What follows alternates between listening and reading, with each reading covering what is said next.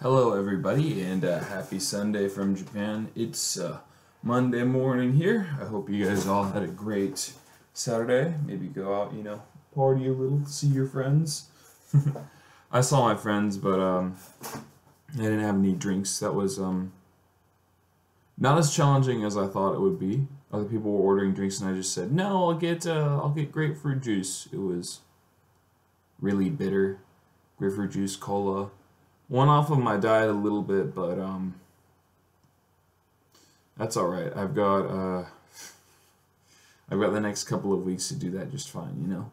So, oh, that's my that's my cheat day now. Hunker down and take it seriously this week, know. I can go get my fix of all the sweet things, which I did last night. I went a little overboard, but um, I've done it before and gone back to losing, so sort of uh, reset my willpower for the week. oh man, these these shirt collars are sitting kind of funky. All right, that's better. Anyway, yeah. Um, there's one thing they have in many restaurants here. It's really common. It's called nomi hodai tabe hodai. So hodai is like as much as you can. So sometimes they have a course you pick one or you pick the other. So nomi hodai is all you can drink and it's including alcohol. And it's like not really the particularly like high class alcohol, right? But it's like cheap beer, you know, cheap mixers and stuff. But um they have that and then tabe hodai, again it's not like super nice dishes, but just as much food as you can order. So you ordered it like one piece at a time, right? But um I did that, right? And they had two hours, two hours, all you can eat, all you can drink for 3,000 yen, which is like less than 22 bucks. And that's like pretty standard here. You can go, if you pay like 5,000 yen, which is like 30, 40 bucks, you can get like two or three hours at some places. And you can get the like pretty nice menu items too. So I was wondering, like, do you guys know of any places that do that? Any like all you can drink options? Because I've never seen that in America. I think they would absolutely go broke and people would just get plastered and probably pick fights with the staff, and it would cause all sorts of problems. Not to mention the tipping, yeah. But um, yeah, I just wonder, like, do you, can you guys think of anything like that? Are there any fancy all-you-can-eat places? Because in America too, we don't really have like fancy, decent food that's all you can eat, right? It's usually kind of um, buffet style, not necessarily the best or the freshest food. But in Japan, it's like made to order. Like you order the dish, they make it for you specifically, and they don't take that long. Although the waiters aren't that enthusiastic usually. Our waiter last night, she was um, probably college age, but she wasn't so enthusiastic about taking orders from a bunch of drunk people. so some things like that never change.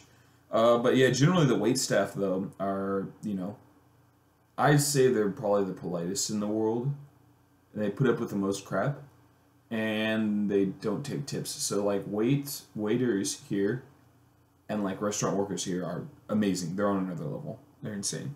Yeah. Especially since like one's like the one last night who wasn't particularly um wasn't particularly what should I say? Polite. She wasn't particularly polite. Those are actually rare. That's the exception that proves the rule here. So yeah, I wonder what you guys think about that. You know, waiters not getting tips, all you can eat, all you can drink. I think those are th- some things that are a little strange, a little different here about uh, in Japan. But also, people are smaller here usually, and a lot of Japanese people have a lower alcohol tolerance. Some people have really high tolerance, but yeah. Um, so that's one thing that's different here. But then people tend to do things in groups um, and like order like a round of the same drink, order like the same food for the whole table, stuff like that. It's much more common here. Versus America, everybody has their own thing. Over here, people would order like, um, like we ordered like some Korean chicken and everybody got a piece, for example. We ordered like a pizza, everybody took a slice, that sort of thing. Yeah. So it's sort of a feast where everybody's sharing, kind of like um, like in Texas, they have a lot of those like Chinese buffets, for example. It's similar to that, where you order one dish, but then everybody takes a bit, a piece, a piece of it. It's not like one person gets the whole dish, you know? Yeah. So that's something that I like about Japan. It's sort of um, communal. but the downside of it is that sometimes you can end up eating less or drinking less. Unless you're with people who are used to having like international friends, then they'll just be like, "Oh, you want more? Yeah, let's order more."